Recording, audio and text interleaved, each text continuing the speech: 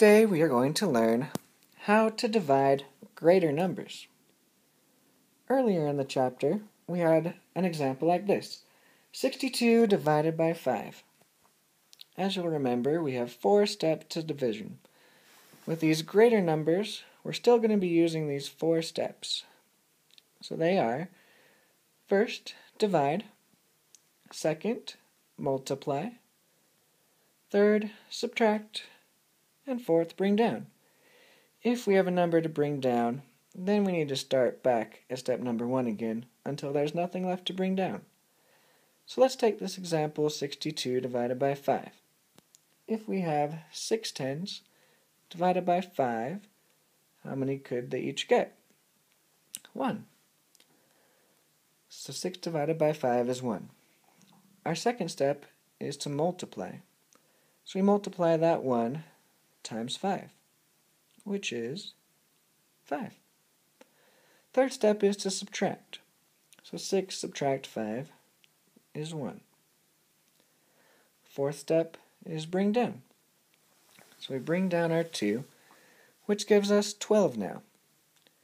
If we want to think about the place value here, we could really say that we just subtracted 50 because if we gave away five tens, that would be 50, which would leave us with 12. Once we bring something down, we need to start back over, so we now have that 12. I circled it just to help us know that that's what we have left.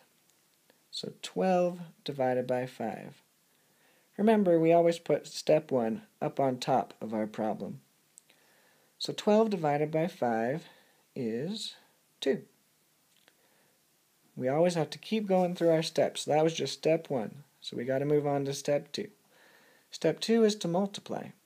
So that 2 we just wrote up there times 5 equals 10. Third step is to subtract. So 12 subtract 10, which is 2.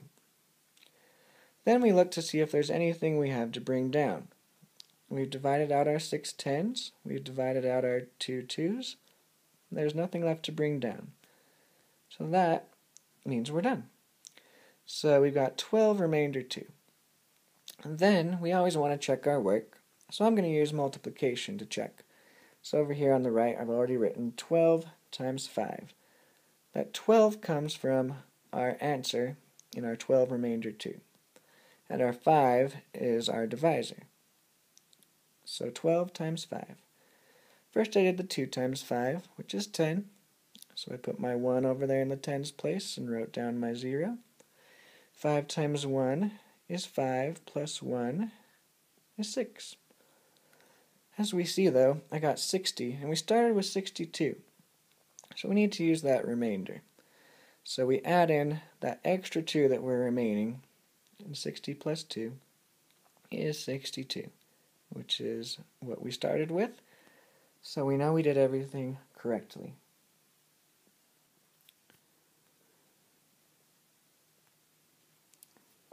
Here's a problem now with some greater numbers. Here's our steps again, here on the side. Make sure that you have these at the top of your notebook. And I want you to write this one along with me as we go, step by step. So our greater number, we're now into the hundreds we have 678 divided by 6. So go ahead and write that in your notebook. We're going to just do this step by step.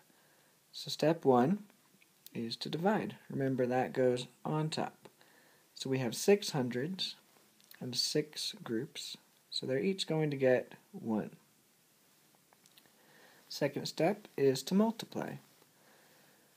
So we just put up our 1. So 1 times 6, which is 6. Third step, subtract. So we're going to subtract 6, subtract 6, which is 0. Fourth step is to bring down. We only bring down one number at a time.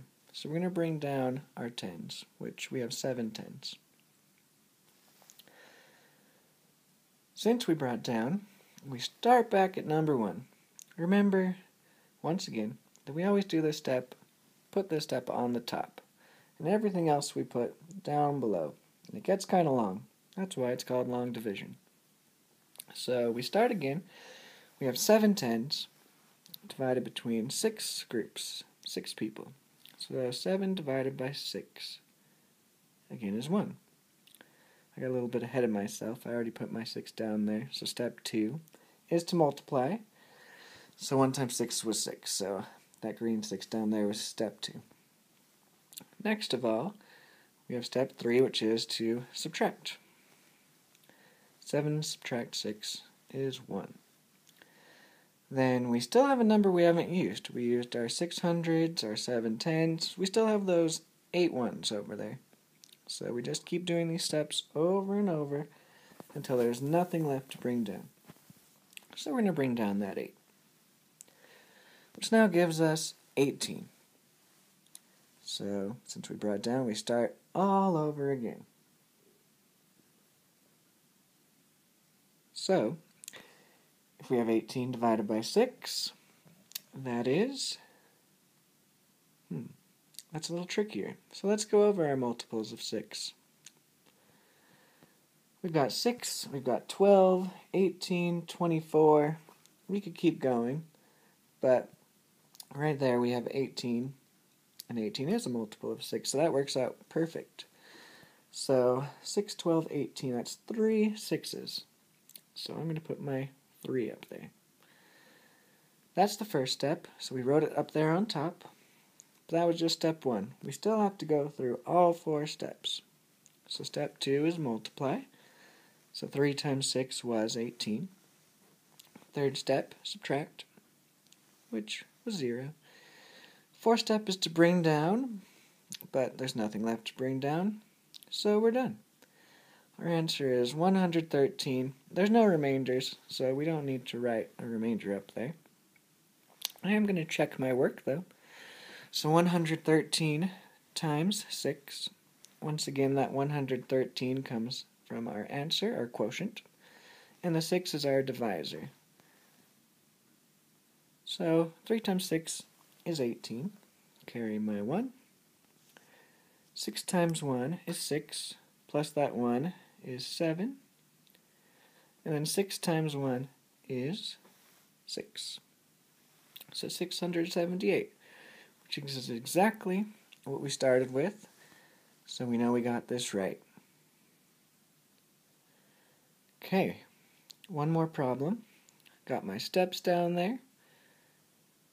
This one's going to be in the thousands. But don't worry, it's just the same exact steps we've been going through all chapter. So once again, write this problem down in your notebook and do it along with me. Soon you're going to be on your own. So we look at our first number, our thousands. We only have one. If I only have one thing, can I split it between eight people? No. So we look at our first two numbers. Um, since eight's are a little bit harder, I'm going to go ahead and write my multiples of 8 at the bottom.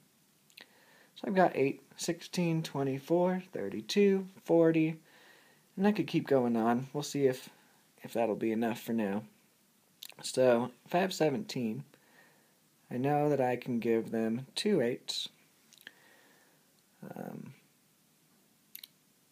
and step 2 is to multiply. 2 times 8 is 16. Third step, subtract so 17 subtract 16 is 1.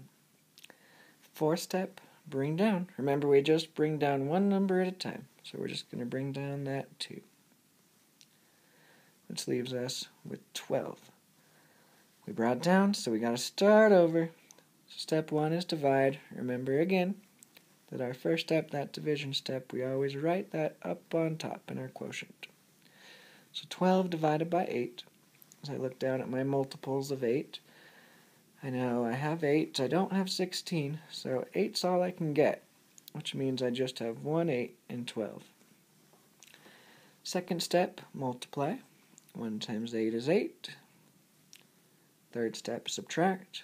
12 subtract 8 is 4. And then I can still bring something down, my 5. Since I brought down, I start over again with division. 45 divided by 8. And I'm going to write this on top again. As I look at the bottom of my multiples of 8 that I wrote down, I have 8, 16, 24, 32, 40. Let's write one more down there. I've got 48, uh, but I don't have 48, I only have 45. So I guess I didn't really need that. So all we need to do is to get to 40, which was 5 eighths. So I'm going to write that at the top. Second step, multiply. 5 times 8 was 40. Third step, subtract, which is 5. Nothing left to bring down, so we're done. We've got a remainder of 5. I always like to make sure that my remainder is less than my divisor, which is 8. So 5 is less than 8, so we know we're good. If I ever had a number that was bigger than 8, I'd know that I could give out more of those things. So um, we're good with 5. So I write my remainder 5 at the top. I'm going to check my work. So 215 times 8. 8 times 5 is 40. 1 times 8 is 8. Plus 4 is 12. 8 times 2 is 16, plus that 1 is 17. And I still have my remainder of 5. I circled it up there at the top, so I need to add that in. So plus 5, which is 1,725. Which is exactly what I started with, which is good. Okay, I want you to write this problem down 568 divided by 4. Now that we've done two together, I want you to do this one on your own. So pause this video, and then when you're done, I want you to check back and see if you did everything correctly. Be sure, if you get stuck, to look at your steps at the top of your notebook, and to make sure you've done every single step. Remember to write that first step of divide on top. That's your quotient. And everything else will go down below. Go ahead and pause now. Okay, hopefully you're done. So here we go.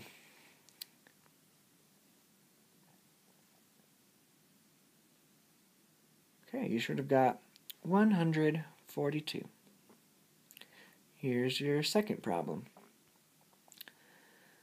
1,234. Same thing. Go ahead and pause. When you're done, check back to see if you got it all right. You may need to pause it again since it comes on really quickly to make sure you really got every single step right. Go ahead and pause. Okay. So, here we go. 246, remainder 4. If you got both of these right, you're ready to go. Um, if you didn't, you may want to go back and watch a couple of the examples again real quick. If you got them right, we've got four more problems for you to do. These four problems, I'm not going to go through and show you the answers. We're going to correct them tomorrow in class. So go ahead and write these four problems in your notebook. When you get to school tomorrow, we're going to go over these four and make sure you're getting it right. So the first problem is 457 divided by 2. Second problem is 1,862 divided by 3. Third, 825 divided by 7. And number 4, 2,033 divided by 6 bring this to class tomorrow, and we'll see how you did you